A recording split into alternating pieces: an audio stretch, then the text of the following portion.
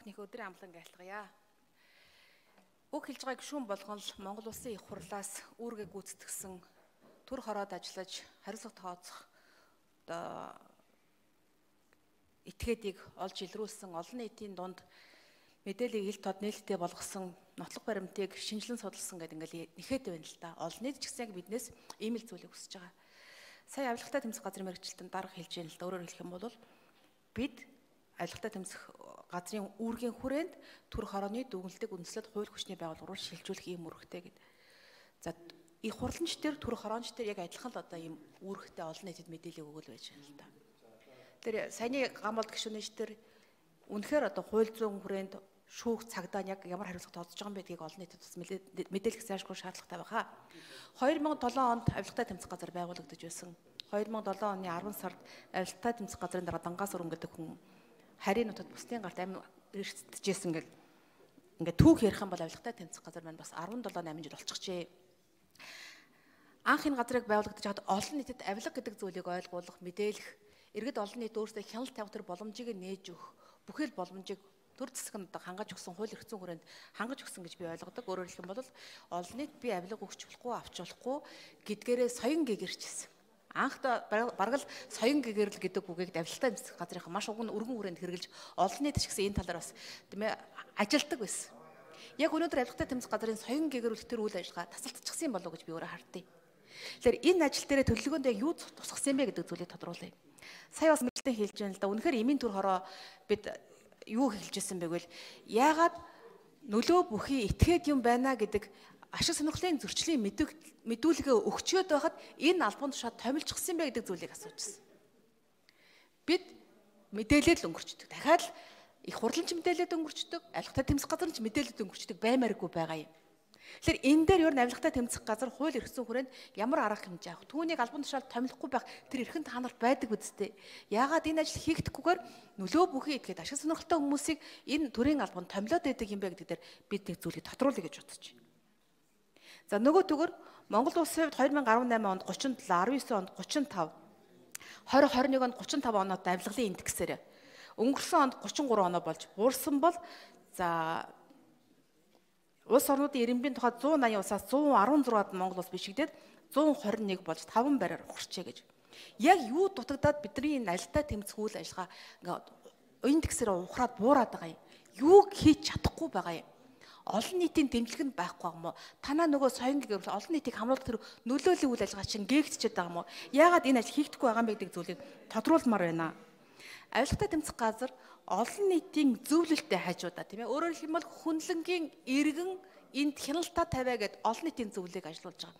Энэ олон нийтийн зөвлөлч өнөөдөр ажиллаж чадж гинэ үгүй юу гэдэг дээр та бүхэн бас тайлбар хэлээч. Тэр улсууд чинь бас л төсвийн мөнгөөр тий татврын мөнгөөр цалин аваад ажиллаж байгаа. Үр дүн байна уу үгүй юу? Үр дүнгүй бол олон нийтийг хамруулсан үйл ажиллагаа хийж чадахгүй бол олон нийтийн өмнөөс хяналтаа тавьж чадахгүй бол энэ олон нийтийн зөвлөлийг байх шаардлага байна уу гэдэг зүйлийг асуух гэсэн.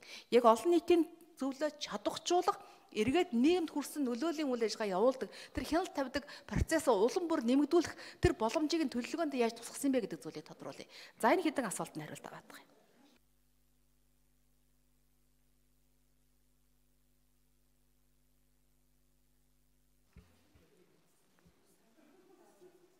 За 3 номер даваад дахь хариулъя. Гишүүний асуултанд хариулъя. Энэ авилгын төсөөлийн индекс сар Монгол улс 2023 онд 33 оноо авсан байна. Энэ авилгын төсөөлийн индекс гэдэг өөрөө бас юм оноос нь нэртэй. Энэ ийм шүү 100 хамгийн цэвэр, тэг бол хамгийн муу гэсэн ийм үзүүлэлт байдаг. А авилгын төсөөлийн индексийн онооны өмнө тэмдэглэгээ байдаг. Гурван янзын тэмдэглэгээ байдаг. Ногоон дугуй дээр дээшгээ сум заасан, нэг бол улаан дугуй дээр доошогоо сум заасан, үгүй бол саарл дугуй дээр тэнцвүүгийн тэмдэгтэй. Монгол улс 2022 онд 33 оноотой үнэлэгдсэн. 116 дугаар байранд 2023 онд мөн адил 33 оноотой 121 дугаар байранд үнэлэгдсэн. Монгол улсын 23 оны 33 онооны өмнөх дугуй дээр тэнцвүүгийн тэмдэг байна. Өөрөөр хэлбэл энэ 33 оноотой орнууд давхцаж үнэлэгдээд 121 гэдэг тоороо орчоод байгаамаа. Тэгээс Монгол улс бол 121 рүү одоо 16-аас 121 рүү унсан үзүүлэлт бол биш гэдэг ийм тайлбарыг хэлээ. Аялалтаа тэмцэх газрын дэргэд олон нийтийн зөвлөл ажилдаг. Авилгын эсрэг хуулиар зохицуулагдсан ийм харилцаа олон нийтийн зөвлөлийг Монгол улсын ерөнхийлөгч олон нийтийн зөвлөлийн гишүүдийг 4 жилийн хугацаатай ерөнхийлөгчийн зарилгаар томилогддог ийм субъектүүд. За энэ хүмүүс өөрөө өөрсдөө гişүүд дундаасаа даргаа томилдог ийм нэгж байгаа. Авилгатай тэмцэх газарт бол юу байхгүй шууд удирдахдахгүй авилгатай тэмцэх газараас цалин авдаггүй.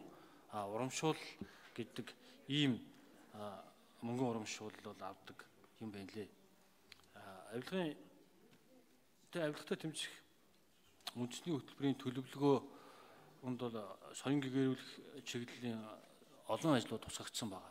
Авилгатай тэмцэх үндэсний хөтөлбөрийн 9 дугаар зорилго бүхэлдээ олон нийтийн оролцоонд тулгуурласан соён гэгэрүүлэх ажлыг цогцоодлоор зохион байгуулна гэсэн ийм бүтэн зорилго байгаа. Энэ дээр бол хүүхдээс ахуулаад ер нь бага наснаас нь ахуулаад энэ соён гэгэрүүлэх ажлыг явуулъя гэдэг ийм том бодлогын шийдвэрүүдийг л улсын их хурл гаргасан. Энэ олон улсад бол жишг болцсон байт юм билээ. Монгол улсад хараахан зарим зүйл нь бол эхлээгүй байгаа.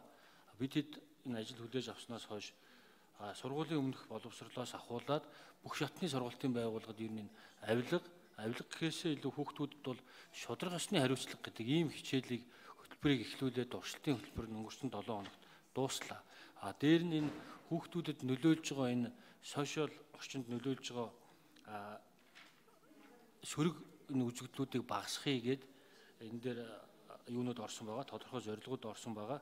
Дээр нь энэ ер нь хүүхдүүдээр дамжуулаад Монгол улсад энэ авилгын эсрэг соён гэгэрүүлэх ажилд үндэсний дүр бүтээн гэдэг энэ Япон, Сингапур гадны улс орнуудад бол ерөөсөө тогтцсон юм байдгийн байлээ. А Монгол улс бас яг энэ чиглэлд явнаа гэд ингээд соён гэгэрүүлэх ажлыг явж байгаа.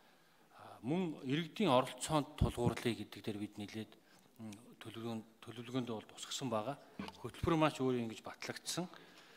А иргэд төр төрийн бус байгууллагуудын оролцоонд тулгуурлаад төрийн бус байгууллага иргэн иргэний нийгмийн байгууллагуудаа бэхжүүлээд энэ бэхжигдсэн энэ төрийн бус байгууллагатайгаа хамтраад энэ соён гэгэрүүлэх ажлаа бас шин шатанд гаргана гэсэн ийм төлөвлөгөө тусгагдсан байгаа.